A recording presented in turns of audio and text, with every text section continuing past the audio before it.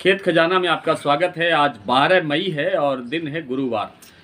सरसों का बाज़ार अभी कोई तेज़ी पकड़ता हुआ दिखाई नहीं दे रहा है। स्टेबल सा भाव है। कल का जो बाज़ार था, लगभग लगभग उसी स्तर पर ही आज कारोबार शुरू होता हुआ दिखाई दे रहा है। हालाँकि आज जयपुर में थोड़ा सा बाज़ार पच्चीस रुपये से लेकर के पचास रुपये तेज दिखाई दे रहा है।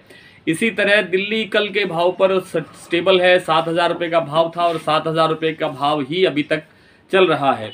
कुछ लोकल मंडियों के अंदर, कुछ छोटी मंडियों के अंदर भाव पचास रुपये तेज़ दिखाई दे रहा है। इसी तरह से जो आपका भरतपुर का बाज़ार है, वो बीस तीस रुपये तेज़ हो सकता है या दस रुपये डाउन जा सकता है। इसी सीमित दायरे में आज भी कारोबार होता हुआ दिखाई देगा। कोई बहुत बड़ी तेज़ी या बहुत बड़ा डाउन अभी दिखाई नहीं दे रहा है। और जो आवकें हैं, आवकों में भी कोई बड़ा परिवर्तन नहीं है। पाँच लाख जो गट्टों की एवरेज चल रही है, शायद वो वहीं तक सीमित रह सकती है।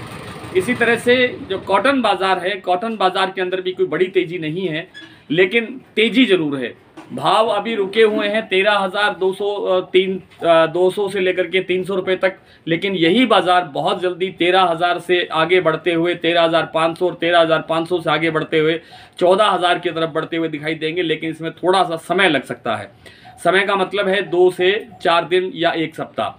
इससे ज़्यादा लंबा समय अभी और नहीं है, क्योंकि कॉटन की जो अराइवल है, वो बिल्कुल ख़त्म हो चुकी है पूरे देश की मंडियों में, और इसलिए कॉटन के अवेलेबिलिटी के लिए अभी हमें लंबा इंतज़ार करना पड़ेगा। अभी फ़सल की बिजाई चल रही है, इसलिए फ़सल आने में टाइम लगेगा। दोपहर बाद दोपहर का वीडियो इतना ही, शाम को पूरे वीडियो में विस्तार से चर्चा करेंगे। नमस्कार।